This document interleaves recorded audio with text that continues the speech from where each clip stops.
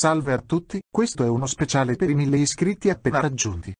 In passato ho fatto alcuni video sugli errori del complottismo, quindi ho pensato di fare una sintesi col simulatore vocale per facilitarne la comprensione visto che la mia voce fa schifo e non ho un microfono decente. Non solo, ho anche pensato di parlare degli errori dei cosiddetti debunkers, cioè quelli che credono di demolire le teorie del complotto. In realtà, non essendo mai stato uno di loro, nei video sugli errori del complottismo avevo accennato a come gli stessi errori dei complottisti vengano fatti anche dai debunkers. Quello che voglio cercare di dimostrare è che nessuna delle due categorie sa argomentare, ma ovviamente gli uni dicono che gli altri non sanno argomentare. Infatti io cerco spesso gli errori logici di due fazioni contrapposte, come atei e credenti, fascisti e comunisti, eccetera nessuno si salva. Veniamo a noi uno degli errori logici su cui insisto spesso sono le argomentazioni ad hominem, che consistono nell'accusare o insultare o offendere qualcuno al posto di argomentare. L'argumentum ad hominem è una fallacia di pertinenza, cioè si tenta di dimostrare una cosa diversa da quella che si dovrebbe dimostrare. Cioè dire che le lobbies ci guadagnano con i vaccini, anche se fosse vero, non dimostri assolutamente che i vaccini fanno male le due cose non si contraddicono. Esiste anche una fallacia della falsa antinomia o falsa contraddizione, ma è meglio non dilungarsi. Potrei controargomentare dicendo che anche l'acqua è commercializzata da multinazionali criminali, ad esempio l'acqua vera è prodotta dalla Nestlé, ma ciò non significa che se i medici dicono di bere acqua stanno facendo gli interessi delle multinazionali. Oppure riguardo le scarpe, se smettessimo di indossarle e andassimo in giro scalzi faremmo un grosso danno alla Nike e all'Adidas, ma ciò non significa che se un medico ci dice di indossare le scarpe per evitare di farci male ai piedi, di calpestare pietre, vetri, siringhe, eccetera, lui è pagato dalla Nike. Io credo che l'argumentum ad hominem sia l'errore complottista per antonomasia. Spesso i complottisti dicono cose del tipo, questa cosa è vera perché Tizio e Caio hanno interesse a volerti far credere il contrario. Ad esempio, molti sostengono che Dio non esiste perché il Vaticano ha un potere enorme e tanti soldi e quindi ha l'interesse nel volerti far credere che Dio esista. Al contrario altri complottisti sostengono che la massoneria è tradizionalmente anticlericale e quindi Dio esiste perché la massoneria ha l'interesse nel farci credere il contrario. Anche dei bunkers cadono spesso in questo errore. Ad esempio, la parola complottista ha già un connotato negativo, e quindi se una tesi è etichettata come complottista deve per forza essere sbagliata e allora la storia finisce lì. Oppure, se tra Israele e la Palestina sei dalla parte della Palestina allora sei antisemita. Se critichi una persona per qualche ragione, ma quest'ultima è di origine ebraica tu sei antisemita, non importa se questa persona è colpevole o innocente, se è ebreo allora tu sei antisemita. Per non parlare di quando si accusa il complottista di essere paranoico o malato di mente, oppure di essere fanatico religioso, o estremista in politica, eccetera.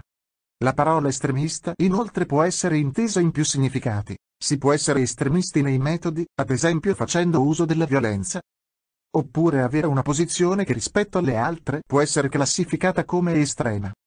Confondere queste due accezioni di significato è un errore chiamato fallacia di equivocazione o di ambiguità. Inoltre l'idea secondo cui una posizione politica sia estrema non ha molto senso perché puoi parlare di estremo o moderato solo se hai un punto di riferimento. Non solo, questo punto di riferimento se il pensiero dominante o quello che sostiene proprio tu allora è anche un'argomentazione circolare. È molto relativo ciò che può essere visto come estremo o moderato. Se io nel Settecento mi fossi messo a parlare di diritto di voto alle donne sarei stato preso per pazzo, mentre oggi lo diamo per scontato. L'errore tipico del debunker invece è l'appetite principi, cioè l'argomentazione circolare di cui parlavo prima. In essa la conclusione è già data per dimostrata nelle premesse. Quando si parla di fake news o complotti vengono liquidate come balle perché dal momento in cui cercano di dimostrare che l'opinione pubblica è falsa, dato che quest'ultima deve per forza essere vera, allora chi la contesta deve essere falsa.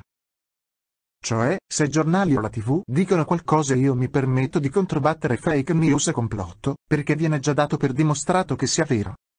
C'è chi è venuto a dirmi che una cosa è falsa perché i cosiddetti siti di debunking dicono che è falsa. Io sono senza parole. Come dico sempre, prima o poi aprirò anche io un sito di debunking contro le bufale, vorrei proprio vedere se verrei creduto. Di recente un noto divulgatore scientifico che si freggia del titolo di debunker, Dario Bressanini, per cercare di sbugiardare infinito, il quale aveva detto che l'aroma di vaniglia spesso non deriva dalla vaniglia ma dal castorium, una sostanza estratta dal di dietro dei castori. Oltre a ridicolizzare l'idea, non ha fatto nient'altro che tenere in mano un bastoncino di vaniglia e dire eccola qui la vaniglia, qual è il problema?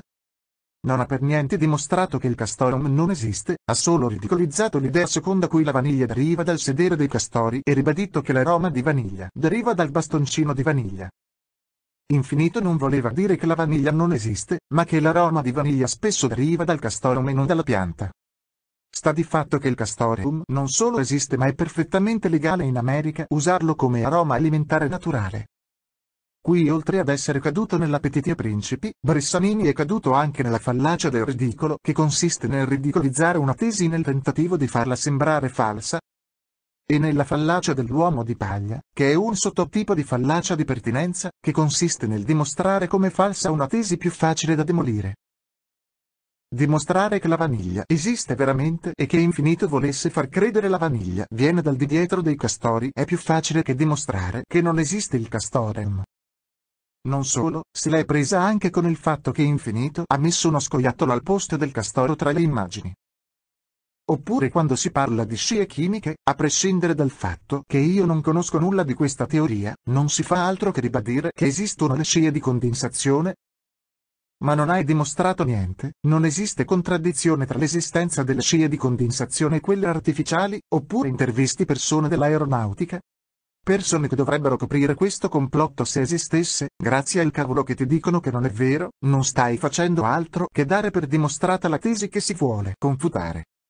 C'è un vecchio articolo che se lo trovo ve lo metto in descrizione in cui si tenta di dimostrare che le scie chimiche non esistono intervistando presunti scienziati i quali dicono cose del tipo a me sembra di vedere scie di condensazione cose simili. Quando si parla di bufale praticamente non si fa altro che ribadire senza argomentare l'opinione ufficiale dicendo che chi la contesta è complottista. Questo errore è legato all'argomentazione del verecundiam e quella de populum. La prima è il riferimento all'autorità, ritenuta indiscutibile e vera in assoluta, quella de populum consiste nel credere che l'opinione della massa sia vera e indiscutibile cioè i giornali, la tv o alcune testate sono considerate autorità indiscutibili, oppure l'opinione della massa, oppure alcuni scienziati, e non altri, sono considerati autorità, perché se contraddicono la massa sono ciarlatani ovviamente. Cioè, se esce una notizia e le testate principali, o i politici, o le persone interessate negano allora deve essere falsa. Il problema sta proprio nel cercare di mettere in discussione ciò che sostiene l'opinione della massa e quella riportata dai media ufficiali, grazie al cavolo che essi dicono che è falsa. Tutto ciò non ha senso. Che poi i complottisti non sanno argomentare nemmeno loro questo è chiaro, ma nessuno di noi sa argomentare, ci vogliono anni di studi di logica per poter sparare di fare meno errori. Ora vi lascio con questa domanda. Se nessuno dei due sa argomentare chi ha ragione,